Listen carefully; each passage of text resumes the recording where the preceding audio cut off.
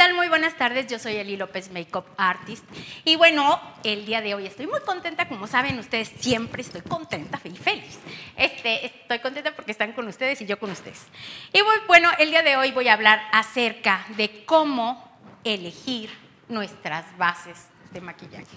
Las texturas específicamente para que ustedes puedan de alguna manera saber, porque vamos al centro comercial o ya sea a estas grandes tiendas de cosméticos y decimos, ¿cuál es la mejor base que nos puede quedar a nosotras? Pues bueno, ahí les va.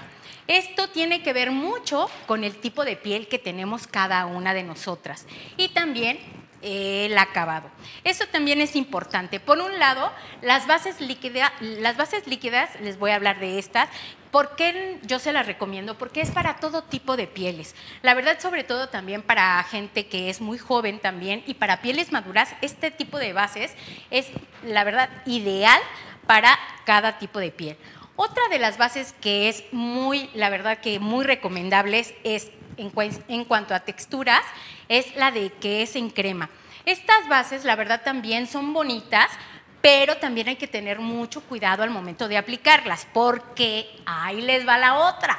Dependiendo de cómo se la apliquen, es como les va a quedar su piel.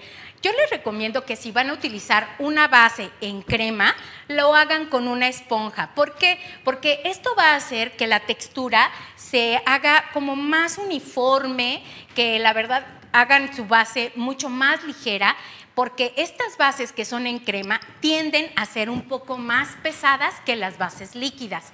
Entonces, también hay que tener mucho cuidado cuando elegimos esta, este tipo de bases que son en crema, que de pronto traen un acabado como a, terciopelado, como en polvo, algo así. Pues bueno, la verdad es que este, este tipo de bases no se las recomiendo para pieles maduras. ¿Por qué? Porque acentúan muchísimo las eh, líneas de expresión. Entonces, ¿cuál elegir en este momento?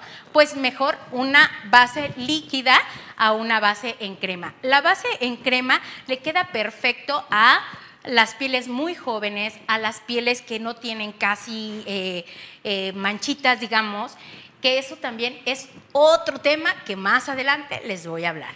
Y bueno, con la siguiente textura es en polvo.